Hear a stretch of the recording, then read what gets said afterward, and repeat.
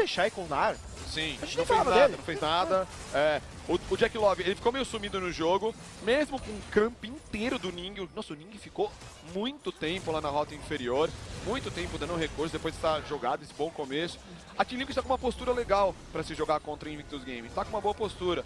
É que nesse jogo, o jogo desandou, o Rookie ganhou pelo meio, começou a dar roaming, começava a usar a visão pelo mapa que a Invictus Game tinha para explodir os jogadores, então a todo instante ele encontrava alguém e explodia, se era o Double Lift, se era o Kismith, alguém ele explodia, né? Então todas as lutas a EG tinha vantagem porque conseguia essa explosão do Rook em alguém.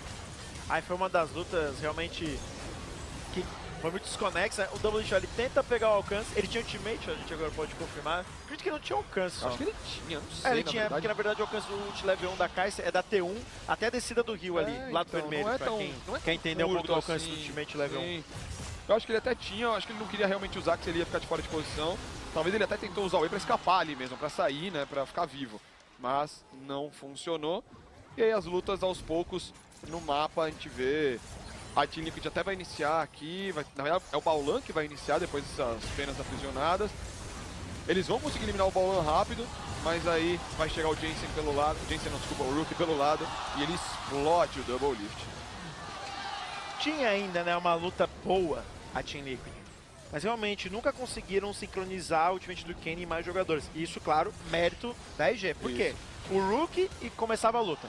E aí já começava ou com um a menos, a Team Liquid, ou com um a menos, mas no sentido de vida. Por É. exemplo, não tá morto, mas perdeu metade do HP. Você não vai dar engage. Em vários momentos o Galho saiu com pouca vida, o X-Men saiu com pouca vida, e você não vai lutar Quantos sem os ultimates a dois. gente viu do Galho? Um, dois? É, foi mais defensivos, mas nem tão efetivos assim de dar knock-up mesmo, né?